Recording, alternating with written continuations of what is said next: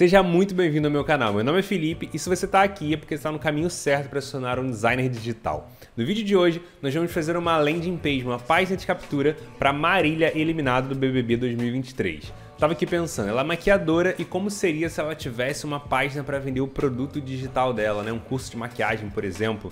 Então nós vamos fazer juntos aqui do zero uma página de captura para Marília eliminada do BBB 2023. Fica até o final e acompanha. Bom, então vamos lá, bora começar. Eu não pensei em nada, não planejei nada, não fiz ainda essa página. Nós vamos construir do zero juntos aqui. Eu peguei algumas imagens de referências, algumas imagens da, da Expert, né, da produtora aí, da Marília.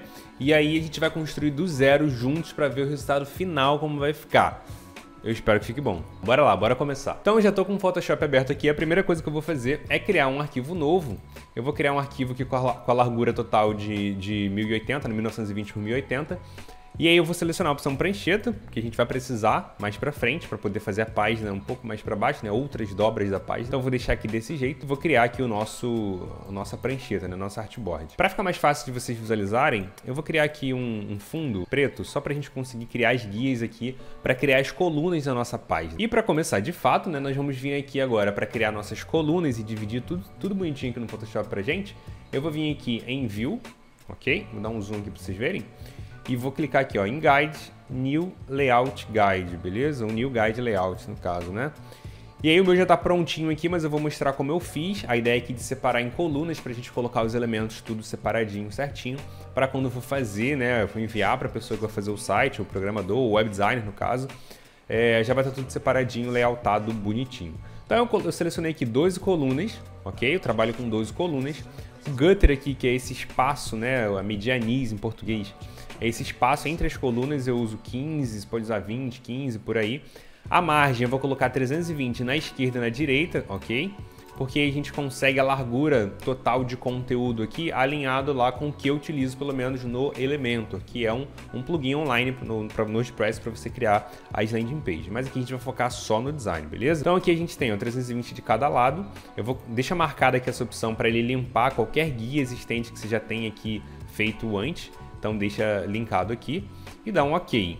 Pronto, automaticamente a gente já tem as guias aqui. Só que falta um passo, senão você vai acabar é, acidentalmente deslocando as suas guias, sem querer, né? Às vezes acontece. Então eu vou vir aqui de novo em View, vou escolher aqui em Guide, vou escolher ó, é, Lock Guide, beleza? Porque aí a gente não tem a possibilidade de mexer aqui nas nossas guias, aí não corre risco da gente é, mexer nelas sem querer, né?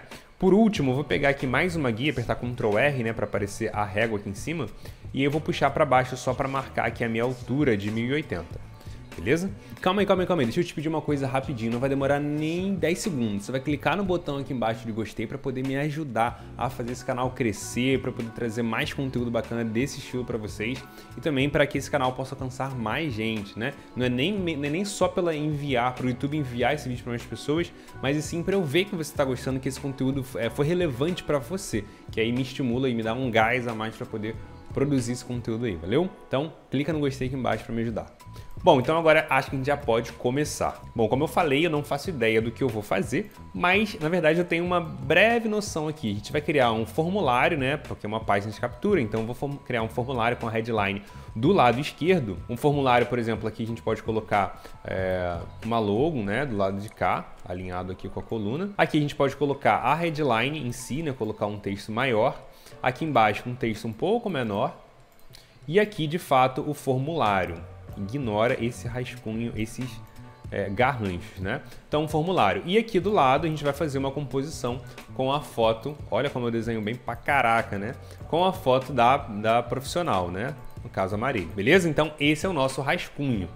E para começar, eu já vou trazer a foto dela aqui para dentro. Eu acho que essa daqui é interessante. Vamos trabalhar com essa daqui. Então, vou deixar ela do tamanho original aqui. Vou selecionar qualquer ferramenta de seleção rápida aqui. Vou escolher a opção Selecionar Objeto. Vou deixar o Photoshop fazer todo o trabalho pesado para mim, de fazer a seleção da modelo. E depois a gente faz o refino aí do recorte. Mas basicamente, essa é a ideia principal. E agora eu vou trazer um fundo, vou criar aqui um fundo um pouco mais colorido, né? Talvez pegando, não sei se eu pego aqui o tom de, de pele dela, ou talvez um rosa bem mais clarinho. Eu vou duplicar essa camada, porque eu quero fazer um gradiente, né? Então apertar um Ctrl J aqui. Eu vou, eu vou pegar agora um rosa um pouco mais clarinho, um pouco mais neutro, quase chegando no branco. Vou inverter essa máscara. E agora, se eu pintar aqui atrás, né, revelando, não sei se dá dando pra notar a diferença aí. Talvez se eu escurecer um pouquinho mais esse rosa aqui. Ó, agora dá pra ver melhor. Então eu tenho aqui, ó, como se fosse um gradiente, né? Como se fosse não, um gradiente radial, mas eu fiz na mão, aqui com duas camadas diferentes.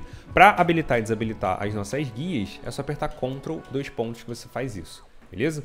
Bom, agora eu quero trabalhar com algumas outras fotos de fundo, tá? Então eu vou pegar aqui mais algumas imagens, vou jogar ela lá pro fundo, e eu vou trabalhar com modo de mesclagem aqui de iluminação, e eu vou criar uma máscara também nessa camada, para a gente poder é, esconder aqui essa, esse branco, né?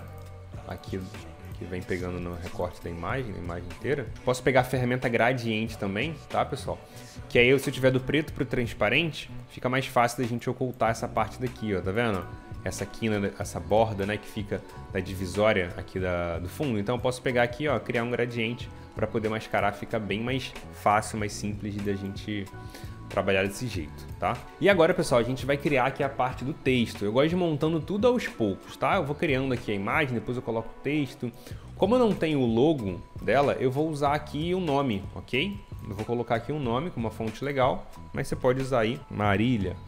Bom, deixa eu mudar aqui a fonte. Bom, e aí aqui embaixo agora eu vou criar uma headline escreva sua promessa aqui nesse campo. Bom, aqui embaixo uma sub-headline. Então a gente já tem uma sub-headline aqui.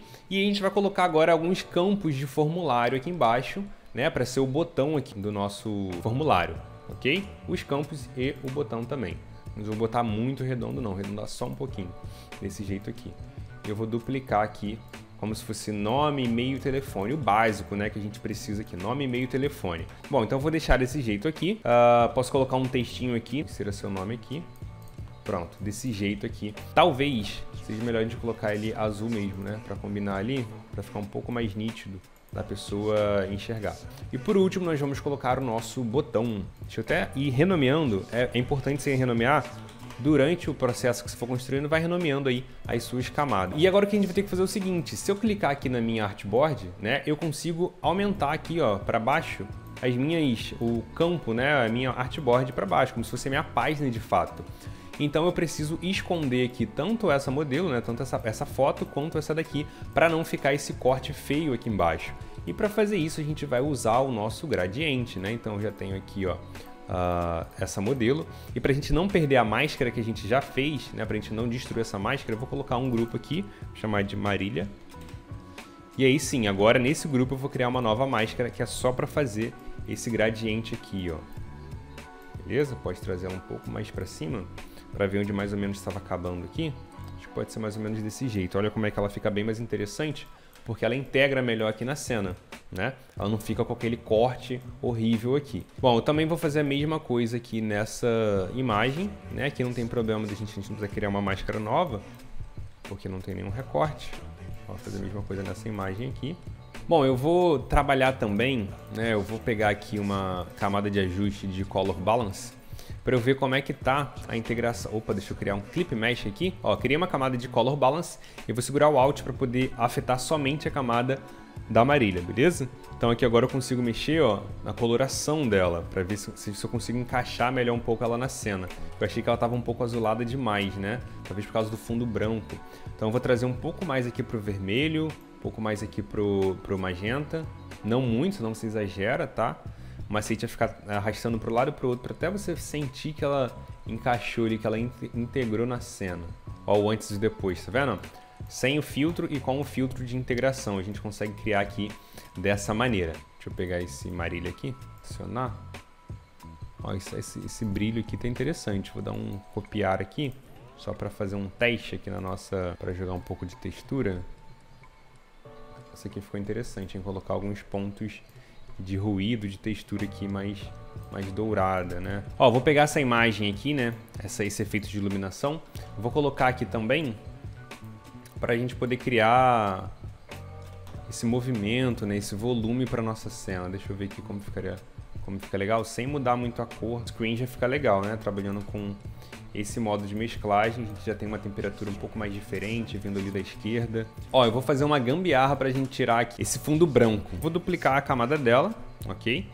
Nessa camada de baixo, na camada de baixo, né, eu vou trazer esse, esse, essa cor, né, esse equilíbrio de cores que a gente fez aqui, esse balanço de cor. E nessa camada de baixo, eu vou apagar mesmo, tipo, apagar dessa maneira aqui, ó de maneira mais, como posso dizer, grosseira possível, vou apagar esse ponto aqui. Vamos fazer um teste para ver se vai funcionar. Vou apagar toda essa parte que eu estou mascarando, tá? Toda essa parte aqui, com a máscara ali. Nessa camada agora de cima, eu vou deixar a camada toda oculta, a máscara toda oculta, tá? Eu pintei toda ela de preto.